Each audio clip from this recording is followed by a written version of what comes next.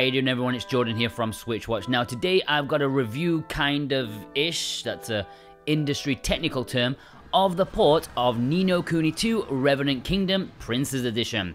Now this game has been reviewed to death already and I wasn't planning on reviewing it per se, but since I bought it from the Japanese eShop, I was playing it all day today and thought, hey, why not give you some of my thoughts regarding it on the Nintendo Switch. So it's not really my usual in-depth analysis, looking at the themes and the full...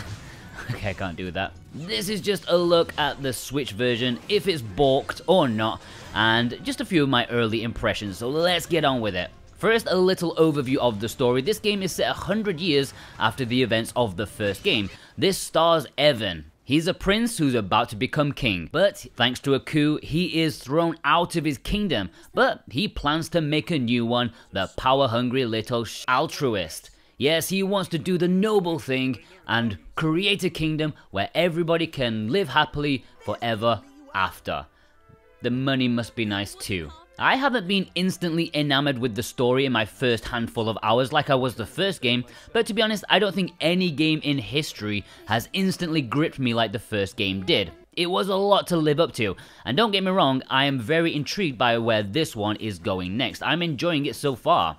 And if you haven't played the first game, do not worry. While they are set in the same world kind of thing, the stories aren't particularly connected. You can play this first without feeling left out, which is great because I did play the original like, what was it, like 10 million years ago? It's been a long time, and I can't remember much apart from the opening few hours, which was incredible.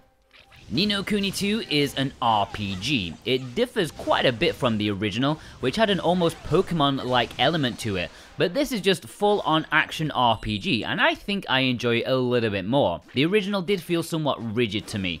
This feels like you have more control, even if it is perhaps looking a little janky while, you know, you're just watching some gameplay footage, but in your hands, it feels good, it's tight, and seems to have a decent amount of depth with my time so far. What instantly sold me on the game, however, was the comparisons of two of the best games of all time, Suikoden and Dark Cloud. I think we can all agree on that, and if you can't, well, well, nothing really. Like what you want. Kingdom and town building with citizen recruitment, yes, yes, please.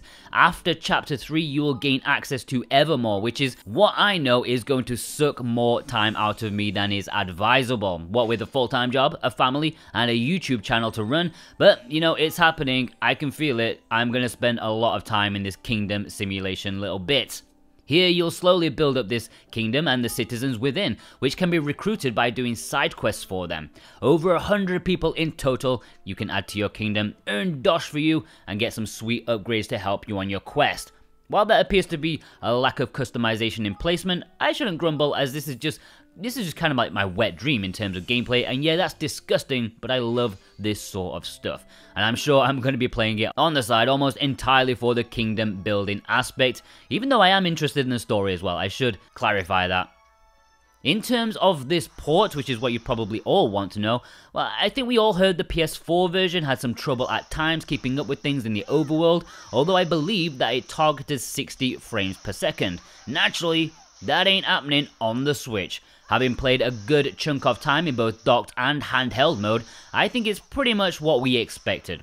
30 frames per second is the target here. And during the general gameplay of walking through towns and during battles, it tends to hold that well enough. Although not perfect by any means, there is noticeable drops here and there, but nothing too distracting or game breaking. The overworld map though, oh boy, it is chugging McChuggerton Town here.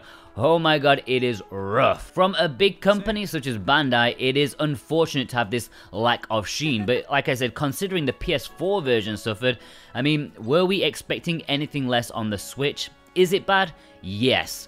Does it make the game unplayable? No, the overworld thankfully isn't really the main focus of the game. Yeah, you do have to traverse, but it's hardly an ordeal doing it from time to time. Now this is a 40 hour RPG, way more if you want to do everything, plus it contains all the DLC content, hence why it's called the all-in-one edition in some markets.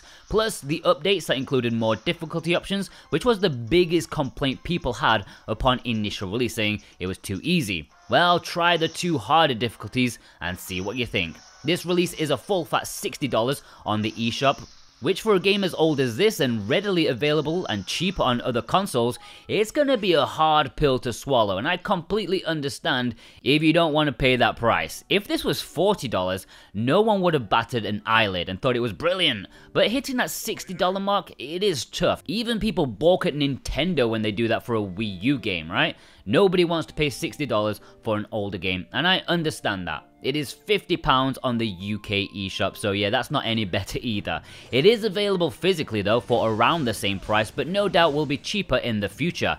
If you want to pick up a physical copy, then check the links below in the description and the pinned comment. There are purchase links for Amazon UK and US, and if you use those, then you can support us at the same time, and that's brilliant. Or, if you want the superior box art, then there's also the Japanese version, which does play in English by the way, I just like that artwork much more. There is a link below for that one too, if you want to import it with our discount code SWITCHWATCHTV. If you use that code, you can get 5% off any physical item from PlayAsia as well.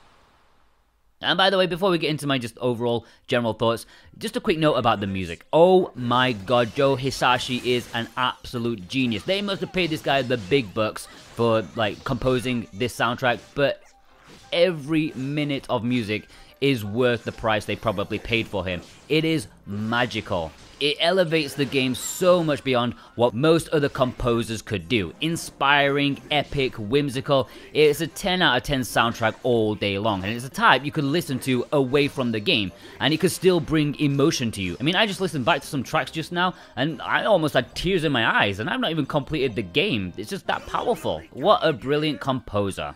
Alright, overall, uh, I know a lot of people were worried about this port, even the original struggled, and that is a much less intensive game, but it seems as long as you're not expecting a full fat frame rate and, you know, a hitch here and there, then it's fine for you, I would say. Apart from the overworld, it's terrible, it is really terrible, but I would not call it a deal breaker. If it is a deal breaker, well, just buy it on another console or on PC. As a game though, so far for me it's a brilliant action RPG which may exceed the original in some areas but also regress in others. You can tell that the budget is toned down a little bit for this one. But what I do know is that this is a top tier JRPG series and one that should not be overlooked. I can't wait to see what they do with number 3 if they ever make it. In my 6 or 7 hours with the game so far, I've had a belting time and I cannot wait to see where they go next in terms of the story and how much of a time sink the kingdom management will be. So, even though I can't give a definitive score for this video, it's a definite thumbs up from me so far at this point. What are your thoughts? Have you played it on the PS4 or PC before? How would you compare it to the original game? Do you plan on picking up the Nintendo Switch version? Do let me know in the comments below as I would love to hear your thoughts.